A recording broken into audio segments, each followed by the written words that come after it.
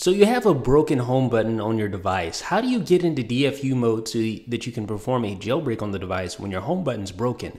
Well, there have been ways in the past to do this, but this way is by far the easiest. The newest version of Redsn0w 0.9.14 Beta 2 will allow you to easily restore your device and push it into DFU mode using just a normal IPSW firmware file. I'm going to show you how to do this right now. Head over to our downloads page on iDownload blog and download Redsn0w 0.9.14 Beta 2 and open it up and then you should see the extras button. Click on extras.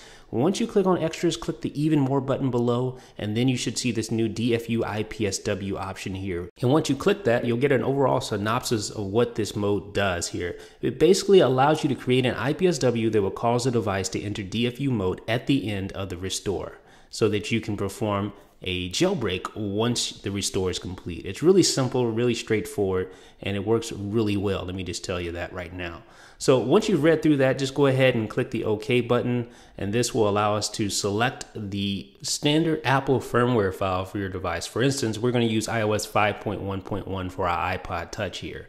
So you just want to select your standard firmware file. No special firmware is needed to do this. All it's going to do is create a custom firmware that allows you to enter DFU mode. So let's find our firmware file for our iPod Touch. Let's go to our firmware folder and we should, should see iPod Touch there. There we go. There's the 5.1.1. We know Apple is signing that firmware. So we'll just open that and you can see it's creating a DFU mode IPSW. So it's just a normal IPSW file that will place your device in a DFU mode once the restore is complete. So it's created. It tells you the location. It's the same location that the original firmware file was in in the first place. So let's open up iTunes. We want to hold the Option key and click Restore. If you're on Windows, you hold Shift Restore. You want to find your Enter DFU Mode firmware file. There it is right here. Select that and then click on Open.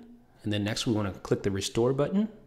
And this will restore your iPhone or your iPod Touch or your iPad or whatever device you have there placing it into DFU mode once the full restore is complete. So this is just like a normal restore that you would normally do or normally perform, except for the fact that you are placed in a DFU mode at the end of the restore. This is an easy way to get into DFU mode if you have a broken home button.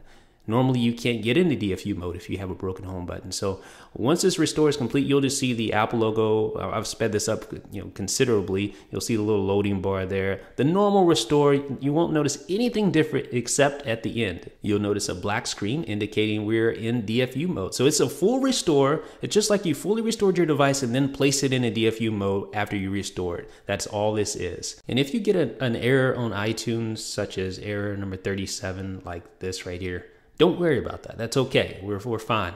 All you need to do is just click OK in this instance, and then you should be presented with another very familiar dialog pop up box. iTunes has discovered a device in recovery mode. That's fine because you are. You are in DFU mode. That's a great message. That's exactly what we want. So now we can open up Redsn0w, we can click on jailbreak, and we can easily jailbreak our newly restored 5.1.1 firmware. Because we are in DFU mode, there's no need to hold the home or power button. You couldn't do it anyway because your home button's broken and you can go through the jailbreak process and you can have a jailbroken device even with a broken home button. How about that? So going forward from this point, everything is exactly the same. You just perform the jailbreak like you've been doing, you know, for the last few years uh, using Redsn0w.